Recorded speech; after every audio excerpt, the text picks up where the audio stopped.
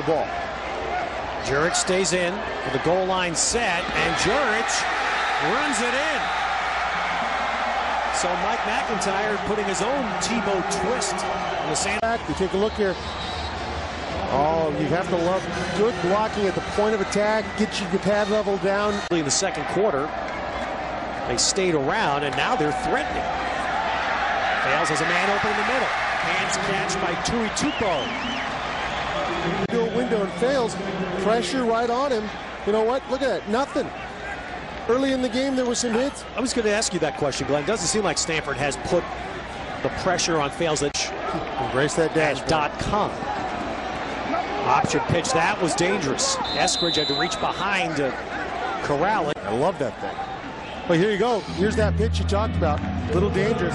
Sales, Sales does not quite put it on him. Puts it behind him. That's what, that's what we talk about. At the top. Eskridge will get the carry, and he runs right into Kyle Van Noy, the junior linebacker out of Reno. Guys in his BYU defense. And a terrific athletic play by Van Noy. Quessenberry, the tackle, comes a block, and Van Noy, 16. He's just been impressive the way he's run this offense tonight. Winning the blitz from the corner, in trouble. Good heat that time. And for one of the few times, really, tonight, number seven in white. And that's what you get with a 3-4 defense. You know, you bring your linebackers in a blitz, and you wonder when. Yardage plays on second and uh, second downs here in the second half. They will make the stop there back.